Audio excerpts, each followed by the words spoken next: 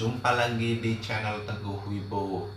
Kali ini saya akan membuat sesuatu dari Lego ini ya. Mari kita langsung mulai saja.